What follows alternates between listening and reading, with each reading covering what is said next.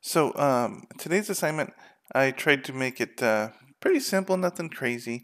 I just wanted you guys to learn a little bit about uh, what is that called, like uh, saws. Okay, so I want to do something about tools, screw bits, stuff like that. You're gonna see this stuff in my class, and um, in general, I want you guys to learn about saws today.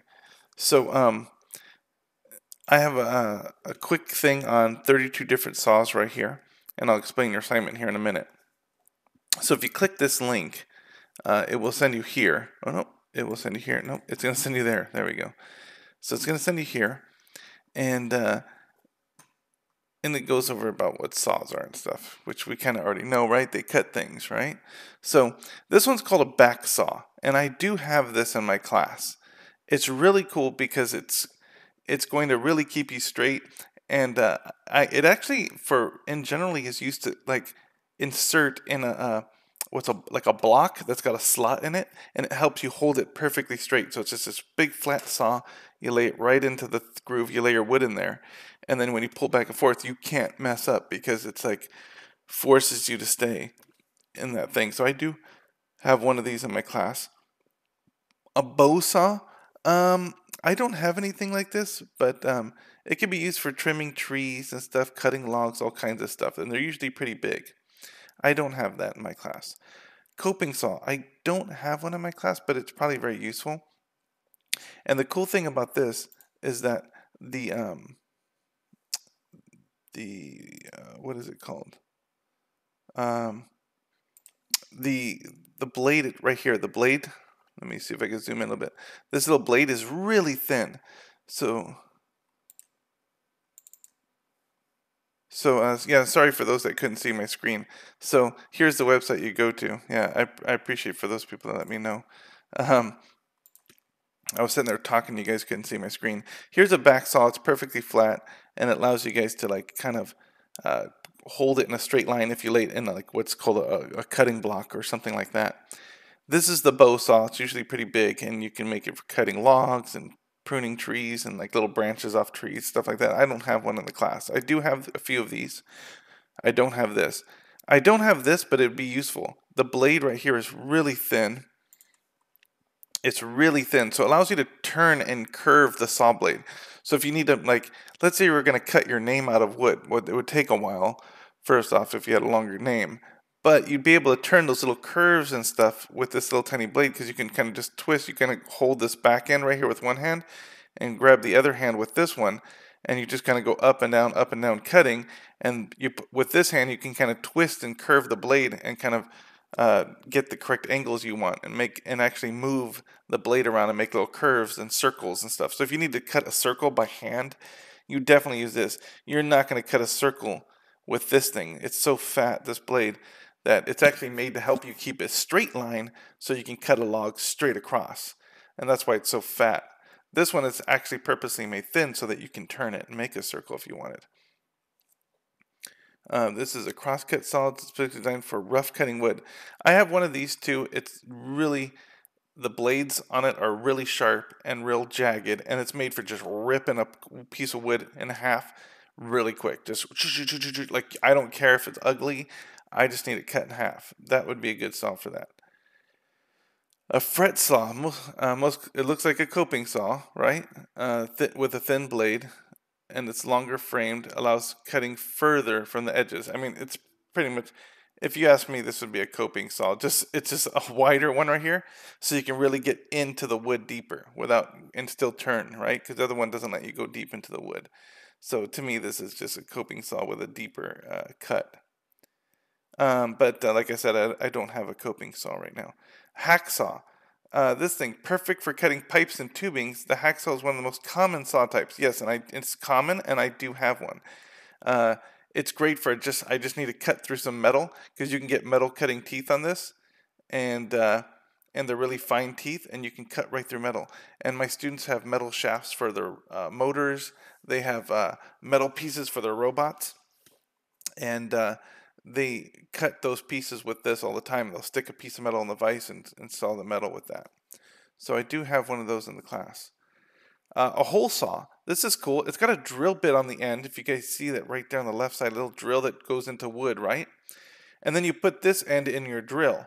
and this thing spins, and the drill will start to go into the wood, which holds it steady. And then this saw around here will start sawing, and it'll and it won't move on you because the center is inside of a, a, a hole already, and then it'll drill a hole out for you, depending on the size. And they sell these in different sizes. They have one inch, half inch, three quarters inch. These come in different sizes to make any size hole you want. A Japanese saw. Uh, this one's called Japanese saw. I've only seen one person have one of these, and and the funny thing is, is it happened to be pretty useful for what he was using it for. Uh, it, it's a kind of a floppy blade, and so um, it will guide along whatever you need it to. It was a really weird scenario the person used it for, and I'll be honest with you, I've never seen anybody really need one since. But I, it has its purposes, but it's not. Uh, what happened was, is there was a piece of wood here, if you can see my mouse, and a piece of wood here. And then there was this piece of wood right here they needed to cut off, like sticking up right here. And these two pieces that were laying flat down here, um, he wanted this cut right here to be matching with these two. And so this big blade kind of laid flat against the other two and it kind of stayed flexible and kind of followed along the path. It was useful, although it wasn't super needed. I mean, you could have just done any kind of saw, but it was probably just a little bit better than some other type of saw. A keyhole saw, I'm going to skip that one because it's pretty much the same as one you're going to see down below. A pole saw, this is just a saw at the end of a long pole, which is pretty much for cutting a tree branch really high up.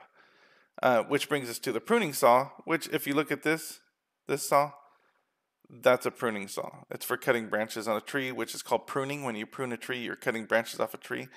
Uh, sometimes trees grow too many branches, and then if they have too many branches, they don't grow right. Uh, they don't. The fruit doesn't come out right. Uh, so uh, that's uh, pretty much you know for cutting branches on trees. And if you put it on a pole, it's a pole saw, I guess. A rip cut saw. I think we talked about that or, or, up earlier. That's pretty much what I have in class. I have some of these. Um, I don't. What did they call it up here? They called it. Uh, did they not call it that? They called it a crosscut saw. Uh, to me, that's the same thing, but it's a rip cut saw. This is the one I have in class, and it's pretty much the teeth are really big and jagged, and it will rip through a piece of wood very quickly. So if you need to cut a piece of wood really quick, but you don't care if it's perfectly pretty, uh, then this will be fine for that. Um, I'm not sure what that is. Here's the other one. I told you it's like a keyhole saw right here, this keyhole saw, it's pretty much the same thing right here. You jab this in, it's got a really sharp point right there, like a knife. And you can jab this right into your wall, like at your house, you know, the, the, the dry, what's called drywall or sheetrock or wallboard. Uh, you jab it and then you just start sawing. And you just start sawing your wood. So if you need to cut a little hole in your wall, uh, this would be it. You would use this.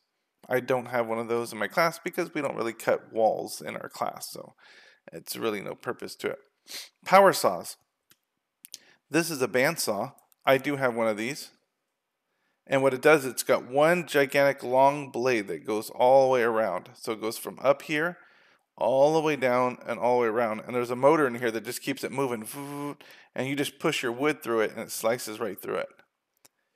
This is the same exact thing. It's just portable. So it's just got one blade that goes all the way around if you follow my mouse and the blade just keeps moving like this and then you can cut it right here. Which is similar to a chainsaw.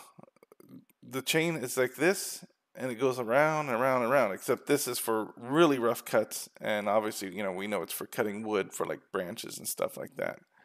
Um, you don't really need them for uh, like in our class we would not need one of these. Uh, a chop saw. Uh, i don't have this but i do have this which looks exactly the same. Um, the only difference is, is this one right here, the chop saw, you cannot move it at different angles. You can slide it down and cut things, like the, you can pull this handle right here and pull it down and cut something, but that's it. You can't cut it at a weird angle. So you can't tip this thing at different angles. Um, so that's why I have the other one because it's pretty much like a chop saw if you need it to be. This is a circular saw. Some people call these skill saws. I think it's because skill makes them skills S K I L L Z, or maybe just because it takes a lot of skill to hold one of these straight and cut. Because I, you know, they are pretty dangerous. Um, compound miter saw. Uh, that's pretty much the same thing as this one right here, the miter saw. It just it can bend a little bit more. I think the only difference is, is when you chop this down, you can pull it forward to cut a longer piece is all on this compound one. Uh, flooring saw to cut pieces of flooring. You'll see that later on. So if you're cutting little tiles or flooring pieces on the floor that you're putting on the floor, we wouldn't need this. We don't do flooring in my house, but um, in, in our classroom. Uh, but that's for cutting little pieces of flooring up. A jigsaw. This is uh, nice to have. I used to have one in class, but I don't know if I have one anymore. Probably got stolen recently. Um, they stole a bunch of stuff out of my storage, so they they probably stole this. It's a little tiny blade here, and it goes up and down like a sewing machine. And this has got a nice flat metal right here that you can lay on the wood, and then you can just turn this thing around, and it's like a coping saw. You can kind of cut angles and circles and stuff with it. Here's the miter saw. This is the thing I told you I have. It's pretty much like a chop saw. You just kind of grab this handle, pull it down, and it cuts a piece of wood. Uh, the only thing is that you can, right here where I'm putting the mouse, you can adjust the knob and you can tip this thing sideways and cut at weird angles and stuff if you wanted to. Uh, I have one of these. I actually just bought one recently. And it's called an oscillating saw. And what it does is it's got a little rough blade right here at this tip where you're looking at my mouse. And it just vibrates, like like back and forth. It just vibrates. It doesn't spin all the way around. It just vibrates back and forth. And then you can lay it flat against something and saw something. I mean, it's very useful in certain places, you know? Um, uh, we don't have anything like these, so you can skip those. Uh, and we won't need anything like these. Uh, this one right here, reciprocating saw. This is a, some people call these sawzalls because Sawzall makes these, uh, but they're reciprocating saws. Uh, this one looks like it's Milwaukee brand. But you put your hand here. You guys see where the this black handle is right here. You put your hand here and you pull that trigger to turn on. Your other hand, you'll be grabbing this big thing right here. And this saw blade right here just goes back and forth like this. And it's uh, pretty similar to this right here, actually, if you look at uh, this one. It's almost very similar. Just the only difference is it's a bigger blade is all it is. So it's, and you can cut through a piece of wood. It'll cut through nails. It'll cut through all that stuff. Um, it'll it just cuts and cuts and cuts, and they're really easy to change the blade. You just push a button, pull the blade out, and stick a new one in if the blade gets all nasty. Uh, a rotary saw. This thing is like a a, a Dremel. If you guys have seen a Dremel, um, even uh, nail ladies when they're doing nails have some of these. Uh, sometimes they're hanging, and uh, they have a tube that that comes out, and then it spins down here, and it's like for buffing nails and stuff like that. But um, you can also use them for all kinds of stuff. So they're very useful for a lot of things. Um, a table saw uh, is just a big table with a saw on it, just like it says. And you just lay a piece of wood and you push it right through there. Um, don't worry about these. And that's pretty much it. So let's get to your work here. It's nothing crazy. It says learn about 32 different types of saws we just did.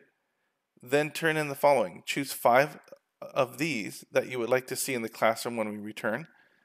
Look up the price of those five things on Home Depot's website and give the list price. And give one to two sentences for each explaining why you'd want to see it in class. Um, so um, I already started for you. So if you click this other thing, so I just clicked right here, types of saws. And here's your five things. And I did one for you already. I put a Stanley 15 inch. I went on Home Depot and looked up the uh, hacksaw I just typed in, I just went to Home Depot's website and typed in hacksaw, and they had a whole bunch, by the way. See, they had all kinds. Milwaukee brand, Anvil. I just picked Stanley brand. It's a usually pretty decent brand name. This one's really cheapy. I in class. These are the ones I have. I have these little cheapy six dollar ones. But uh, here's a more heavy dutier type of one. And they're pretty easy to change the blade. You just unscrew them here, and then this thing slides down and loosens up, and you can pull this thing out. This little saw right here. And uh, they're great for cutting metal and stuff like that. And I do have them in class. Uh, I'm not asking you what we do have in class. I'm just asking what you would like to see in class of all those saws. Um, what you think would be a good idea to have. If you had to choose right now, like what five would you choose? I'm doing one for you right now. So I put Stanley Hacksaw it was if on the website, I don't know if you saw, it was fifteen dollars and ninety seven cents, and it can cut metal, which will be useful for making metal robots. So I just put that one there. Okay, so but um, you can just say what you would like to do with them or wh- why you think they're a cool saw, and uh, and just name the saw, the price that you saw in Home Depot, and then a, a sentence or two uh, explaining what you think it's a good saw to have. All right. It's amazing how many different saws there were, right? If I said how many different saws there are there, you'd probably think, oh, I don't know, one, two, three, four. But uh, they have 32 there, and there's probably more than that. But um, th- those are the, the popular ones, and even of those, they're not all that popular. Um, does